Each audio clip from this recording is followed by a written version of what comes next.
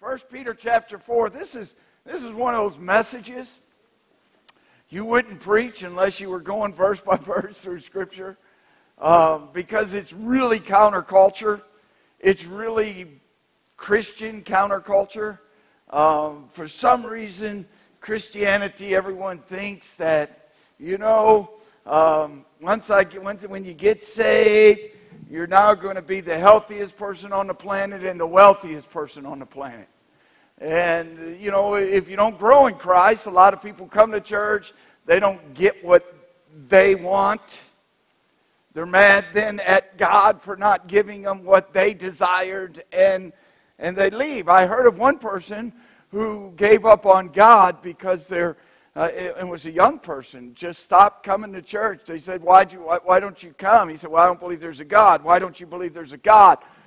Well, I prayed for my dog to get well and it died, and God didn't answer my prayer, and so therefore there must not be a God. The problem is, they probably heard that God answers your prayers, gives you whatever you want, right? I mean, and so we, we, we got trouble sometimes. And so if a problem comes into a Christian life today, uh, most of them fold. Oh, there must not really be a God. Can't believe it. I mean, I didn't get a parking spot in front. Uh, you know, it, it's, it's, it's difficult. So, how, how should this Christian life be?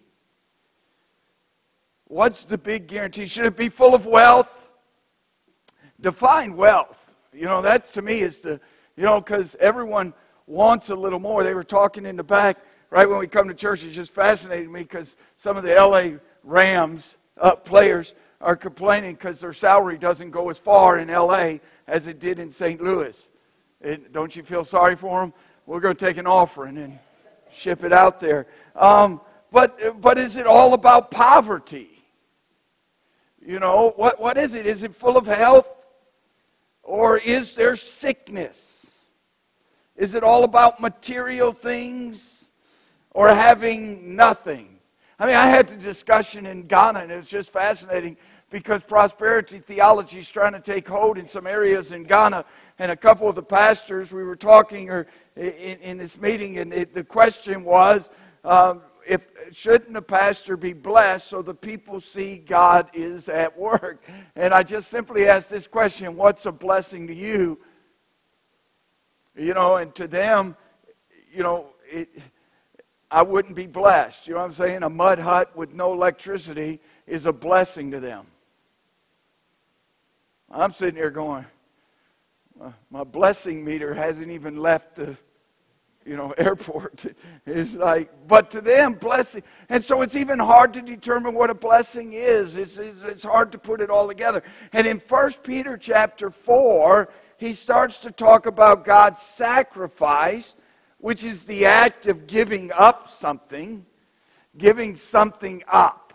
Sacrifice. Are, are we, as Christians, are we willing to sacrifice for Christ? In other words, we stop doing something and turn it over and do something else. But as I was really looking at this portion of Scripture, the word really wasn't sacrifice, the word was suffer. First Peter says, I want you to know as Christians, and it's not just persecution. He talks about things happening also physically, and, and, and, and that the outer man, it's perishing day by day. And it says that we will suffer to feel pain. I don't know about you. If they told me all this about Christianity, I might not have signed up. Because Christianity is, means I get whatever I want. It's, it's, it's, it's, it's what Barney's preaching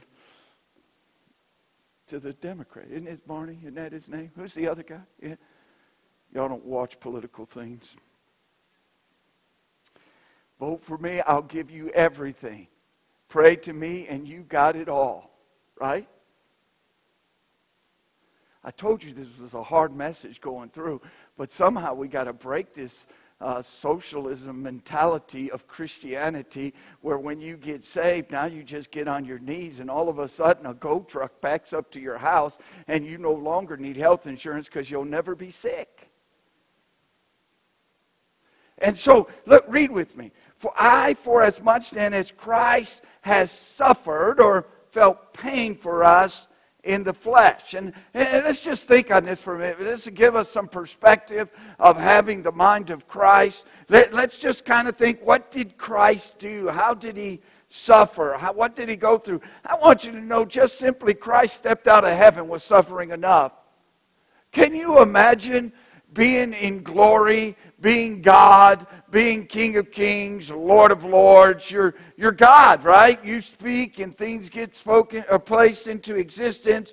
He was there when creation was done. He's the one who has created, and He leaves the splendor of glory. Most of us won't go across the street for someone. God left glory. I mean, he gave up everything to come to this world. And not just leaving glory, but he stepped into human form. he humbled himself. I like the way Philippians put it being found in the fashion of a man. It's like, okay, God, uh, this, Father, this has gone far enough. You know, leaving glory is one thing, but now I'm, I'm flesh and bone, which, which is, it perishes. Christ stepped out of his riches. He stepped out of his kingdom. He stepped out of his home. And it says in Matthew 8 20, and Jesus said unto him, The foxes have holes, and the birds of the air have nests, but the Son of Man has, has not where to lay his head. I mean, he didn't come and God didn't live some uh, glorious life, some life that was filled with all the possessions that he ever desired. He lived a humble life, willing to sacrifice. He was forsaken by his family. Remember, the family didn't even understand it. And this is hard for me because Mary understood who Jesus was, but there was a point where Mary is knocking on the door saying, they're going to kill you. We need to stop this and stop this now. Her mothering instinct, I think, was kicking in over her spiritual understanding of what God was doing and things were happening. He was rejected by the religious. Think he goes to the temple, he messes up things. He stops them from, uh, you know, selling and illegally trading. He was betrayed by friends. Then he was killed. He suffered. And he died on the cross. Just, just think for a minute how all this has taken place. And somehow now we think Christianity has evolved 2,000 plus years later, and now Christianity should be totally different, and we're just we're it, right? I mean, you find everyone, uh, you know, the only ones who's are really making a lot off of prosperity preaching is the prosperity preachers. They have more money than they know what to do with. And they, they, they can't take a bus, they got to take a jet. You know, can't take a train, can't go commercial. Got, to get me a jet. And then they'll, they'll buy a $100,000 jet and say, Could y'all help me feed this family for just $30 a week? like, sell your jet, dude. You know, I, I just, it, it, it, here, here's, here's the battle when you're, you're pastor in Christianity. We've not prepared people to suffer and feel pain and be down. Uh, there's so many people right now that if, if they have any sickness, they think God's against them. It's like, wow, no, no, we, we're not home yet. We're going to have some sickness here. Why?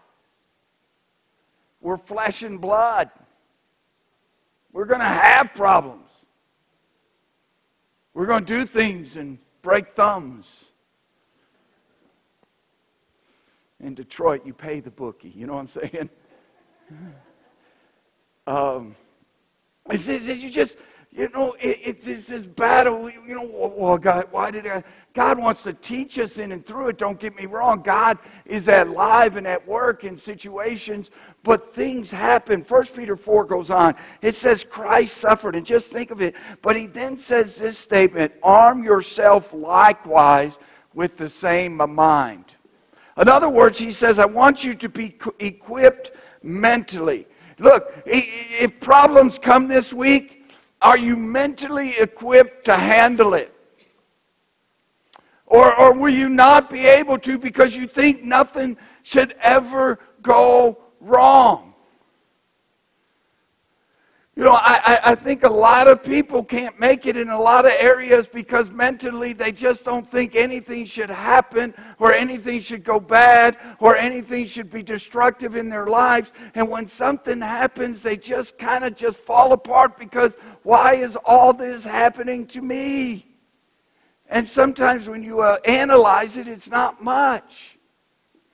Because you could show a whole lot of people going through a whole lot more. But we are going to have problems. And that's why he says, arm yourself. You know, you ever set an alarm? Anyone here got an alarm at their house? Y- y'all got an alarm? That's awesome. You got an alarm? Set? Wow. I just figured Mike was looking to shoot people. Um, anyway, you know, around here, there's not a whole lot of alarms. To me, I just get one of the alarm signs because most people will think then you have an alarm. And so, you know, just buy a sign, put it out front. Most burglars don't want to do anything. But arm yourself. This is what Jesus is saying. He's saying there's some things going to happen in your life. And you got to have the alarm ready so that you can handle what is going to come. So you won't just crumble and fall in all that is happening, but that you'll be able to move forward in it. Now, and I want you to see this. We're going to, we're to kind of divide life up into two volumes. Volume one is pre salvation, volume two is after salvation. And, and your life should be different after you're saved because you're equipped to some things. Romans 6, Paul puts it this way What shall we say then? Shall we continue in sin that grace may abound? God forbid. In other words, when we get saved and baptized, we're saying we're going to leave sin. We're going to move forward in our lives to a new direction. Uh, how shall the dead to sin live? Uh, any longer therein. In other words, we're, we're alive. We're no longer dead. You shouldn't be saying, Know ye not that so many of us were baptized into Christ, we're baptized in his death, therefore we are buried with him by baptism into his death, that like as Christ was raised up from the dead by the glory of the Father, even so we also should walk in newness of life. And so I want you to see this. This, this, is, this is where Peter wants us to get. There's this pre life that is death because you don't have the Spirit of God. And when you get saved, born again, get baptized, and you start to follow Jesus Christ as Lord and Savior, you got a new life. The old life needs to be something that was in the past, and the new life is something you're building on. And we looked at this a couple weeks ago when we looked at verse 21. And you need to understand in chapter 3, 21, he's talking about making this commitment in baptism in Christ, having this good conscience towards God, being baptized, having that answer. And we looked at it, it means to make a pledge or uh, the acceptance of the terms. So baptism was like signing that contract saying, Yes, I am saved. I believe Jesus Christ is Lord, and I desire to follow him in my new life. And, and so you leave this old life and you start this new life. But so many people now think there shouldn't be any suffering or sacrifice. There shouldn't be any pain or sickness. There shouldn't be anything that goes wrong in my life. But that's not what God has said. God, God said, Look, I want you to be armed. I want you to be prepared because even after you're saved, there are some terrible, terrible things that can happen and might happen in this world because of sin because of sinful people, because our outward flesh is not made to live for all eternity. So we're going to break down and we're going to have problems and we're going to have sickness. Yes, sometimes God, and I don't understand, I don't understand when God does heal and when God doesn't heal. I, I don't know. I, I don't know why sometimes God will touch and say, No, I'm going to make him completely whole and not touch this person. I know it's not all connected to our faith, but if you don't have faith believing Jesus could work, he could be. I know it's not all connected to sin, but some of the sickness could be because you are living in sin and God has brought this sickness to bring you back to him. But we still don't know because we know people who live godly and who have faith and still have sickness. And so here's the thing we have signed a contract and said, God, look, I believe that you're the Son of God. I accept you as Lord and Savior. I made my public profession of faith, being baptized in you and raised from the dead in new life. And I make this commitment, God, whether through sickness, whether through disease, whether through persecution, whether through trials, whether through discouragements, and all those other things that may come my way. God, I will follow you. See, this is the difference of a strong Christian faith and a weak Christian faith is one who understands my faith is totally placed in God and whether it's a bad day or a good day, I get to enjoy it with the King of Kings and Lord of Lords. And so your mentality is, hey, I could be sick tomorrow. I could drop dead before the end of the service. Y'all probably still have the second. But that's, you know, move them to the side. We got to go on. And, and, and what, but that happened. It happens. This is the world that we live in. What do you expect from life? Do you always good health? 2 Corinthians 4.16 says this. Get a hold of this. For which cause we faint not, but through our though our outward man perish, yet the inward man is what? Renewed day by day. What's perishing and breaking down? The man in the mirror, right? It, it, anyone, you know, anyone past 20, you're not what you used to be, right? Mentally, you still think you are, but physically, you're not. You know, you used to be quick to a basketball. Now you realize, wow, that ball just kept going. You know, you know, you would have been there last year. This year, no. You know, and, and your bones break quicker, right? I mean, it, it, when you get older, if you fall, that's bad. Your bones deteriorate. Your outer man gets worse. And, and, and, you know, all the things we eat and put in our body, all of us, you know, in America probably shouldn't deserve to live. Because, I mean, we, we don't have anything that's natural in the United States of America. We're pretty much the most processed place on the planet. And our hospitals show that. Um, but, you know, health is not a guarantee. Health is not a guarantee. Always more money and what it buys. Some people think that. But look, look, Matthew 13, 22. He also that receives seed among the thorns is he that heareth the word and cares of this world, and the deceitfulness of riches choke the word, and he becometh unfruitful. God doesn't not, God does not hate riches. God, God, God's okay with you being wealthy. Do you understand that? Please get that down. I, I, I'm always, I, I don't want to ever be anti wealth. We live in a wonderful country and God has given us more than we'll ever use or deserve. But we all want more, right? I know you can't say that in church, but you want more. You already looked on Craigslist for something this week. you know what I'm saying? They always need a little more, need a little something. Oh, that'd be nice to have this. You know, I, I, I started one thing. I, I have bought way too many books and have not read and caught up. Now, you know, anyone get the Christian Book Distributor magazine? You know, I throw it away. I don't even open it. I don't, because if I open it, oh man, that's a good deal. I should get these books. You know, and I buy more books. And I, I, no, I just throw them away. Catalogs are of the devil. I'm pretty convinced. Because I'll find something I want. Commercials the same way. You ever get done with a commercial and go, oh, I need that. You know you don't need it. They just did a good job on the commercial, and now you think you need that, and you'll end up buying it. But God says, look, in this world, some of the riches choke out what? Your care for God, your love for the kingdom. And that's what Peter's trying to get us to understand that in this world there might be some suffering, you might feel some pain, there might be a struggle in your life. This is what Job was trying to get us to understand in Job 2:10. It's what shall we receive good at the hand of God and shall we not receive evil?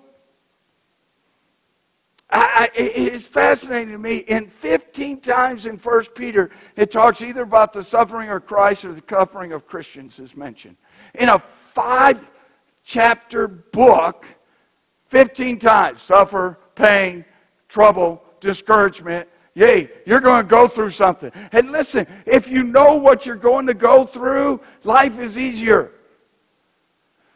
I'm blessed with being able to coach upwards girls four, five, and six. Here's the most amazing thing. I don't know what this team is, perception of playing the game is, uh, but they, they get emotional quick. I mean, I, they, they come towards the bench, they keep hitting me. You know, I'm like, hit him back. Anyway, uh, in the name of Jesus. Anyway, uh, no, you know, it, it's this bad, and they get all this. I'm like, don't let them get in your head. See, look, if you don't expect people to swing at the ball and to try to get the ball and to do some things, you're not going to try to defend it. But if you think something's going to happen, you get prepared. Well, they took the ball from me. That's the game, right?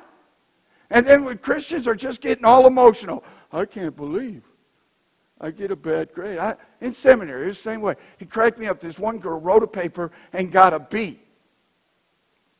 I don't get B's. I said, What do you mean you don't get B's? I don't get B's. Apparently you do. Look, I see one. well, I'm going to talk to him. He's going to change that to an A. I said, Why should he change it today? Because I don't get B's. I'm like, Someone should have smacked you a lot longer. You know what I'm saying? Because it's just, no, I make A's. That's all I make. And I can't fail. You know, anyone old enough to remember when C's were average? You know what I mean? C's, C's were, you know, A's were, you did exceptional work. You didn't just do work. But now we got to give everyone A's and, and B's. And, and some of y'all are like, uh uh-uh.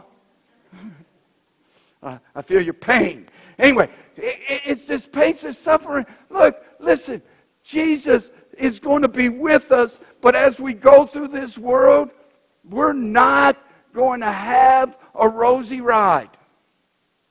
Why? Why is it? Read on with me. 1 Peter 4:19. Wherefore let them that suffer according to the will of God. Say what? Oh, God, I thought you just for me being good, okay, blessed, and having everything. Suffer according to what? The will of God. Oh, signing up for another God, right? And that's what people do because they don't understand. Sometimes God has to take you through something in order for His glory and for others to be reached for the kingdom of God. Sometimes He needs to take you through something so that later you can help others who would be more discouraged. I, I don't, I, you know, when we, we got to stop for a minute in our culture of Christianity and say maybe suffering in this world isn't going to end. It will in Revelations 21 4, and I should have just put on, and God shall wipe away every tear from their eyes, and there shall be no more death, neither sorrow nor crying, neither shall be any more pain, for the former things are what? Passed away. Let me give you some good news. There's going to be a day it's all rosy. It ain't here. It ain't on this planet. It ain't while we exist in this world. But when we get to heaven, God's going to wipe away the tears and we're going to have no more pain, no more sickness, no more of those things that go on in this world. But see, in this world, we're still going to have trouble. We're still going to have problems. We're still going to have struggles. And yeah, I don't understand always why some people seem to have more than others, but God is working in and through the situation. It may be that God is trying to get your faith to the place that you can pray through something and God might want to heal. It may be that you're living in a sin and God's trying to get your attention and desirous for you to repent. It may be that Satan is attacking your life because you're standing righteous for the King of Kings and Lord of Lords. It, it could be a whole lot of things, but don't ever think because you got some pain and you got some suffering and you got some illness and you got some trouble that God has forsaken you and left you because He didn't sign up to give you a perfect life here. He signed up so that you could live for Him here and one day have that perfect life in the kingdom of God. So you can be armed and prepared. I need to tell you, you may suffer this week. I, uh, for as much then as Christ has suffered for us in the flesh, arm yourself likewise, the same mind, for he that has suffered in the flesh has ceased from sin. You know, if you're willing to suffer for something, you're willing to leave other things for it. Doesn't mean you don't sin any. But if you're all in in something, some blood, sweat, and tears, you forsake other things to be in. You know, those who are willing to be persecuted for Christ sin a lot less than us who just think it all should be rosy. Right? He's saying there's, there's a point you're, you're in. So, you know, it, it's like those who are committed to be athletes. Well, it's fascinating. And, and it's even weird on the, on, on the pro level because you got these pros that they, the announcers are like, man, he's just, I mean, you don't see an athlete like this. It's just all muscle. It's just all this. And he watches everything they put in their body. And I'm like, man, surely if all of them are making millions of dollars and their body is the reason they're making these millions of dollars, surely all of them would want to protect and make their body. No, some of them, I don't want to pray. I don't, I don't want to exercise. You know, I don't want, and it's, it's just fascinating to me. But because they desire to excel, they des- desire to get somewhere, they're willing to sacrifice some things so that they could be better off. Listen, church, if we'll get this mentality where we're ready to be to painfully sacrifice, we'll start moving from sin. This pleasure cruise everyone's on is, is, is giving the church a, a life of sin. Look, look again, look with me. Verse, uh, I don't know what the, it may be verse 2, but I don't think it is. Um, that he no longer should live the rest of his time in what?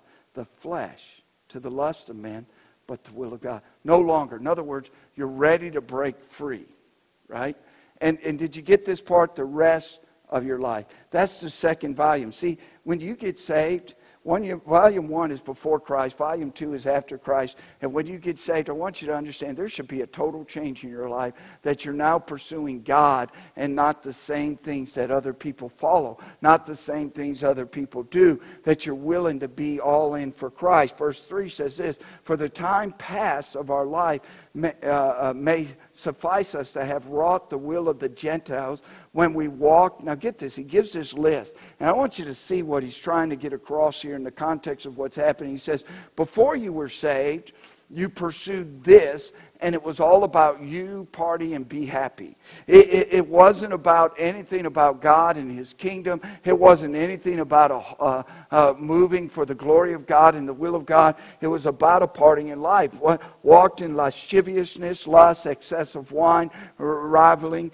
banquetings, and uh, uh, abominable idolatries. Um, I, I, want you to see here walk, when we walked in, and, and it's just and lasciviousness is any sexual perversion. In other words, it's just pleasure to the body of what you desire and what you want. We live in that culture, right?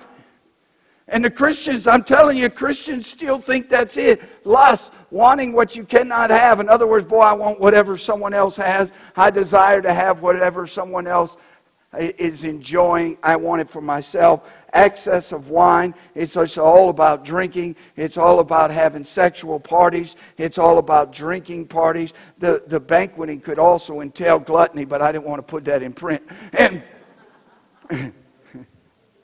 right? Yeah. Anyway, um, it, but it said it's just this this attitude of about me and then idolatry, whatever God pleases me. See, pre Christian, your volume was, and, and, it, it, and it entailed whatever God would bring me and do in my life, and however God, you know, I'm, I'm with this. Man, just give me all the pleasure, all the money, all of everything and not seeking the kingdom of God. But he says after you're saved, you start to think, seek the kingdom of God, where the people you used to run with now look at you as strange. Wherein they think it's strange that you what? Run not with them. Somehow our Christianity has missed this part. We now just run with them. Well, how else are we going to win them? You can win them by being a little different. And they can see Christ in you. Well, no, I'm trying to win them. No, you're not. You're living in verse 3. You're living in volume 1. But Christ, who shall give, let me give you the last thought here. Who shall give account to him that is ready to judge uh, uh, the quick and the dead? So we got to be judged for this. So this is what Peter's trying to say. Let me let me kind of sum it up. I know it's this is this is one of those messages you kind of just go and go. I don't like any of it because trust me, I don't either. I like pie in the sky. Me, I just just you know what I'm saying. I, I'd rather party then, oh man, maybe we should suffer for Christ. And I'm not talking just being low and, and grovelly for low and grovelly point. But look here, we're, we're called to a new life regardless of our past life. This, this is the biggest blessing to me. Because he's, you got to remember, all Scripture connects. And he's talking in verse 3 that we got this new life in Christ and, and, and we get to follow God. Isn't that the coolest thing? And God says we get to go with Him, new life, regardless of the past life. I don't care what you used to be, God says I can use you today. Called to a new life, regardless of the difficulties in life. We got to keep doing what we're doing. Don't quit because there's trouble. Realize there's going to be trouble. You know what the coolest part is? God puts us together to help us through the trouble. I, I don't think I don't. I can't remember the last time we were on the receiving end of the We Care team, but it is kind of cool how the We Care team at the church works and moves, and and you know they they brought us meals for the last few days because Joyce, you know, they went to look for her heart and said they couldn't find anything. I'm not sure what all that meant, um, but you know she's fine. It's clear, but you know when they're looking at your heart and said I found nothing, I'm just saying, okay. You read into it any way you like. Um, where was I? But anyway, she could. She's not supposed to do anything for three, four days with her arm. Or, anyway, this, so people brought food, and it was it's kind of cool. I just say it's neat how they do that. To, you know, it's it's it's also kind of you know, you know, you know, you know what I'm saying? They, you know, you, what's in the box? You know I mean? And it was all good, um, but it is just like a little Christmas present. But here, difficulties in life, regardless of the difficulties, we're in it together and hopefully serving God together. I will be judged how I live this new life. See? We're going to stand one day before the Bema seat of Christ and we're going to receive awards for the award, rewards for the things done in the body. And so I just encourage you look, we're in this new life together and we're going to be moving forward for the kingdom of God. Tomorrow trouble may come, but listen, let, let me give you the good news through 1 Peter real quick. And I'm trying to hurry because some of y'all already went to bed and just trying to get it in here. But we're saved and kept by the power of God. That's the beauty of salvation, isn't it? Peter, you see, you got to get it all together in one book. And Peter is, is really trying to help us be prepared and to arm ourselves so when difficulty comes, we don't just fold and we don't just give up and we just don't cry and, and, and, and sulk, but we're like, no, this is part of it. We're marching on with God because I'm kept by the power of God. If you're saved this morning, I want you to know, regardless of what Satan, sin, and this, this sinful world throws at you, you are kept by the power of God. You belong to the child of God. Stop judging who you belong to by the situations that happen in your life. Some people think they're Christians because they've been blessed beyond measure and they're not. They don't know God at all. It is not about what happens in this exterior life. It's about being saved and kept by the power of God, but you're also alive in God. Here's the best thing for me. When I go through difficulties and trials and situations and I get down and I get frustrated and I'm uncertain and unclear, one of the things I got to remind myself that I am alive in God. God hasn't given us the spirit of fear nor of bondage, but one of power and grace. And I got to remind myself the Spirit of God lives inside of me. If it was up to me these days, it wouldn't work. I wouldn't make it. I wouldn't succeed. But Peter wants to remind us there's pain and suffering covering, but you are alive on to God. You're kept by His power, and you're a Christian who is made alive. You can go through a situation joyful and understanding that this trial is going to do something better in your life and bring you to a place where God can be glorified. You got to understand that. We got to wake up to this place that we live in, and you're His people. I love that. He calls us peculiar, but we're His. Hardest thing is to let children learn something, isn't it? But you always got a safety net as parents. We belong to God. God has a plan for our lives. It ain't our plan, it's His plan. And when you think it's all about your plan, you're missing God. You're missing God. God's eyes are on you says his eyes are on the righteous, and we've been made righteous in Christ Jesus, and he's watching over us. There's no difficulty you're going through this week. There's no situation that you're facing today that God is not seeing. But then in chapter 5, we get to cast all our cares on him. Throw it. I love that word cast. It's like throwing something on the back of a horse to cast. In other words, God, we're going through this.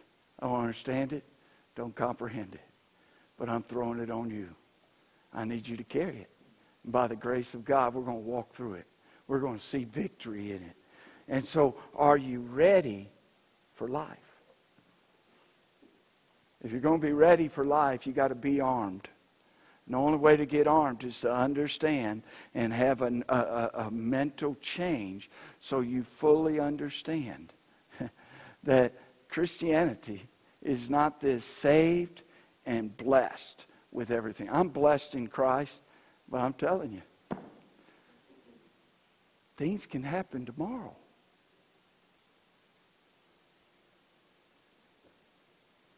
But I get to walk through tomorrow with God. This last week, I've been to hospitals, funerals, been to the courtroom, where life isn't all that good. Sometimes I get, I get tired of praises. And that, don't, don't get me wrong. But sometimes we praise God as if that's the only reason He's God.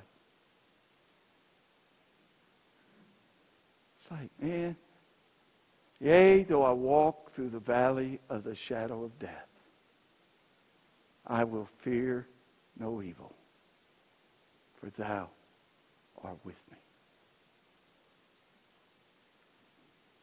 Let's be strong enough Christians that we get to praise him in the valley of the shadow of death. And let's be Christians that learn to lean on each other and help each other cast their cares upon God. Stand with me. Hedge bowed attitude of prayer. I know this morning I went through trying to figure out how I can make this a little happier. but sometimes you just got to be prepared. Some of y'all right now, I know you're having Uh, financial victory and you're excited. We need to praise God for that, and it's just awesome. Man, I, I love it when God blesses. Don't I mean it is I mean it, it's thrilling. But there's some don't know how the end of the week is going to turn out. And and don't feel don't feel like you're not serving God and following God and obedient to God, whether you're wealthy or broke. But give it to God and say, God, we're going to go through this together, and I'm going to look for you to either change the way I look at this or approach this or the desires of my heart to move in this. And there's some people here, and I could go through the room. I mean, there's, there's a lot of folks who are going through sickness. I mean, sickness. Some serious, some, you know, just slows you down. And some, we're just healthy. I don't understand why, why this works, but I do know this. If you're a Christian, God's going to walk through you through that sickness, and you have hope of, of many things happening. And one of them is God may just decide to heal. But you walk through it with God. You walk through it as a testimony to the King of Kings and Lord of Lords. I mean, Peter was trying to help us to understand in this life. We need to make sacrifices, and there's going to be pain. It may come through persecution, and it may just come through some things that happen in our lives. But God desires to work in and through that. So as you write your volume two of your life, I challenge you. Challenge you to write it in a perspective knowing that God is with you. And tomorrow may be a difficult day, but He'll never leave you nor forsake you. Father, I pray today that you'll make us believers armed to serve you and to follow you. In Jesus' precious name I pray. Amen. As we sing, is that whatever God has dealt with.